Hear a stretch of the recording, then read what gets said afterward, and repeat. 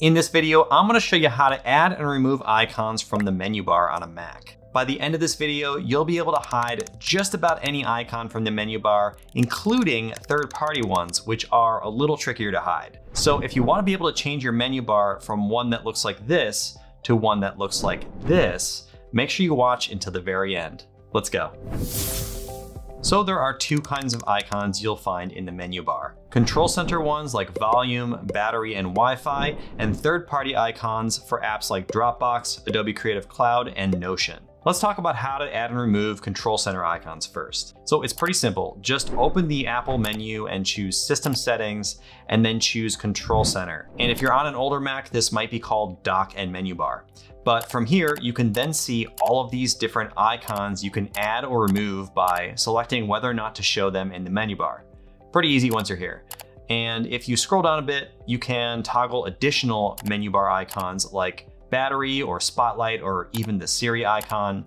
So you can toggle any of these system icons on and off right from within here. Quick tip, you can actually open clock options and toggle between digital or analog and analog gives you this nice slim icon. So we'll just leave it at that to match the setup I showed you in the beginning of this video. And another quick tip, you can actually choose to automatically hide the entire menu bar if you want, and it'll slide up and out of view until you move your mouse up to the top of the screen like this. I personally don't like that, so I'm gonna choose full screen only, but I figured I'd mention it just so you know it exists. So that takes care of the control center icons, but what about those pesky third-party app icons? Well, there are two main ways to hide these. First, you can look in the third-party apps settings for an option to disable the menu bar icon.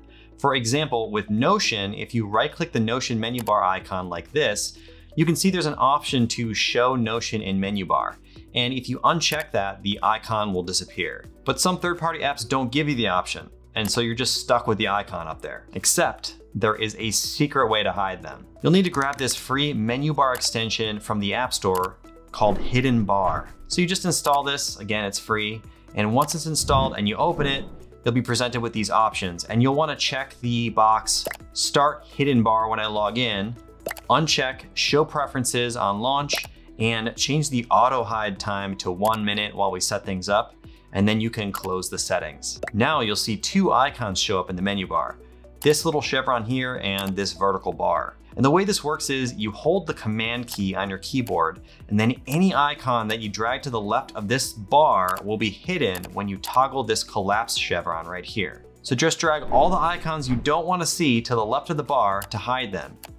And then you can expand and collapse them really easily. And when you're done, to hide that little bar too, just right click the chevron that'll toggle the little bar on and off. And so now I've put all the icons to the left of the bar, and when I click the chevron, the whole menu bar is hidden. And now look how clean that looks.